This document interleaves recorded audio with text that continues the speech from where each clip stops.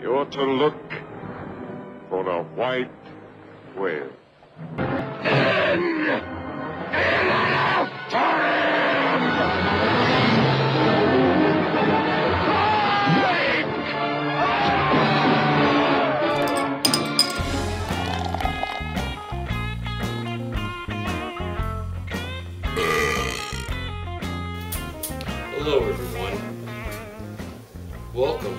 the Mr. Liquid Bread Show. I am your host, Friar Mr. Liquid Bread. Tonight, we'll be doing a very special, special beer for all of you.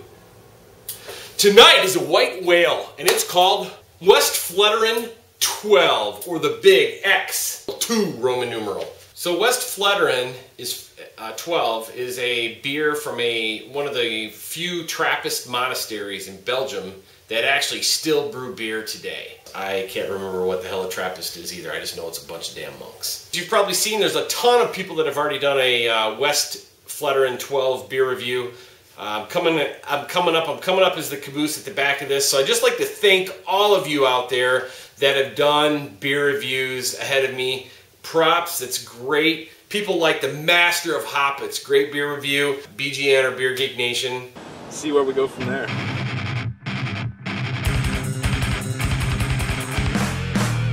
the real ale guide guy, uh, Daniel Harper. Many of you might know him as the awesome face mullet beard. And then of course we can't forget Chad 99768675 Props. I'm actually kind of disappointed that Hoggie hasn't done a beer review of uh, Westy 12. More liquor and music. That's right.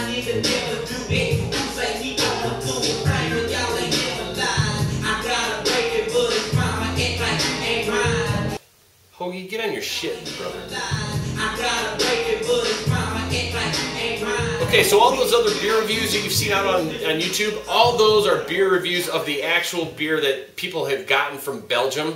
I'm actually going to do one of the first bottles of beer, uh, a review one of the first bottles of beer that came over specifically for America. And anybody that says this is not the original, you know what? Bend over and kiss my ass. Do you really think they, they gave us a beer that wasn't the same as what they normally do? They're that big of a brewery that they brewed two different Westy 12s. One for Belgium and Europe and one for the shitty ass freaking blokes across the pond. I doubt that. Now the back is a label itself on the bottom. At the top here it says some shit in, in, uh, in Latin that I can't pronounce because I can hardly speak English, let alone Latin. So they have do have the neck collar at the top, which is really nice. It's kind of like Fort Collins Brewing Company or New Belgium Brewing Company in their bottles, and that they're it's physically part of the bottle. It just says Trappist, Trappist in beer, whatever that means. Somebody post a comment in here and correct me because I, I need some correction about this time. On the back here it says uh, authentic Trappist product, product of Belgium, imported by Shelton Brothers out of Massachusetts. Obviously everybody knows about that. It's got Surgeon General's warning.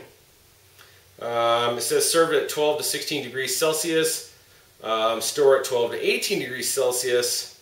So this is the best before date here on the top, uh, January 8th, 2015. So I could have saved this for another couple of years. I did get this last year, obviously, when they released a limited supply to the United States. Again, that limited supply was sold to the United States to uh, specifically raise money for the monastery, probably to paint the men's and women's bathroom, is what I'm thinking. Uh, brewed and bottled by the Abbey St. Sixtus, Westvleteren, Belgium. Westvleteren, Belgium is where they're located. Obviously, the St. Sixtus uh, is the monastery, which is, again, part of the Saint, uh, Saint, whatever the hell the guy's, of Saint Valentine or uh, whatever. So let's just drink this shit. And by the way, if you haven't noticed, uh, Seattle Supersonics Barbie is now pregnant. Fucking Sean fucked her up. Oh, we not only got smoke, we got some head, and I don't want to waste this $14 beer, so I'm pouring it right in my glass here. And I do not have a Trappist chalice. I have got a uh, bolt cutter kind of chalice looking thing. Very, very, very audible uh, head on this. This is probably one of the most audible heads I've ever heard. As you've seen most of the beer, other beer reviews, this is a very dark, um, it's an, a bottle conditioned beer, so there's some floaties in the bottom. And it's very a molassesy, uh, light molassesy color, more of a, a tanny khaki head. You know, I got this in a beer trade from the Beer Apprentice. If those of you that don't know, go on Google Plus and go to Beer Apprentice and circle, find him and circle him. And if you don't know about him and his beer reviews on beerapprentice.com, uh, he's one of the most uh, influential and lyrical uh, beer reviewers out there. So please visit his site, hit refresh about 80 times just to give him some hits and uh, show him your love. This beer was a 100 on Beer Advocate and RateBeer.com, although the Dickhead brothers from Beer Advocate gave it a 94. Um, go figure. I don't know if they've ever gave anything under 100 other than maybe, um, I don't know, maybe Magic Hat number 9. Alright, so I'm getting a little bit of that Belgian aroma that you typically get from Belgian beers, uh, triples, quads, doubles. A little bit of boozy notes, a little bit of brown sugar uh, aroma coming off. Now those of you that have had the Rochefort 6, 8, and 10, this beer is along the same lines as that kind of style beer.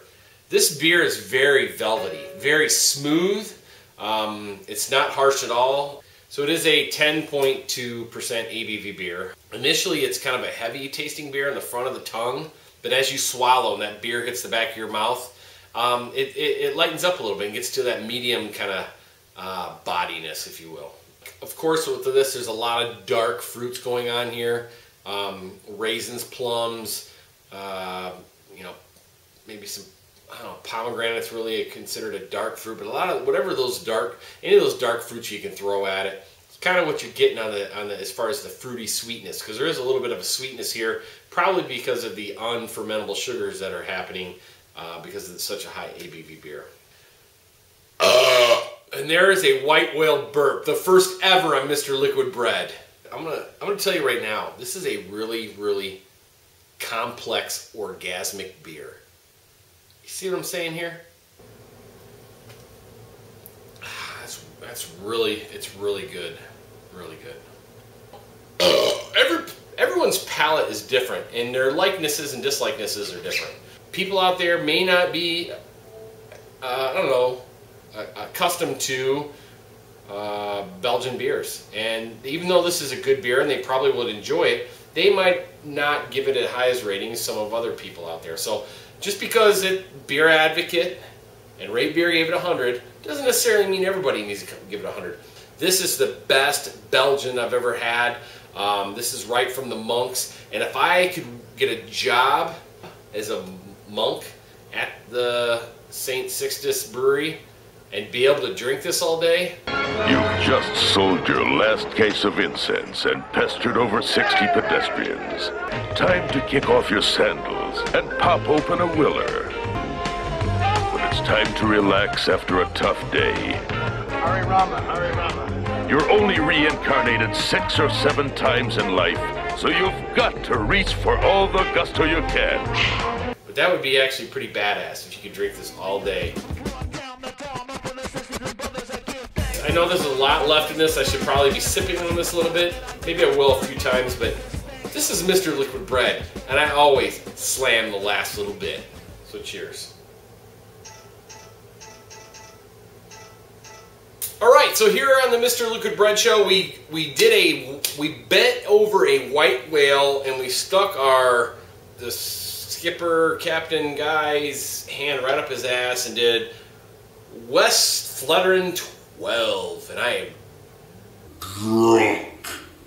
Again, I don't really want to tell you to go out and get this because you probably can't get it. You stumble across it somewhere, grab a bottle of it. Even though it's $14, you'll be pretty damn impressed on the uh, complex, orgasmic, big, velvety, muddy, brown nature of this damn molassesy, brown sugar, raisin, plum mixture of beer goodness. So check it out grab it. If you can't, fuck you! Yeah!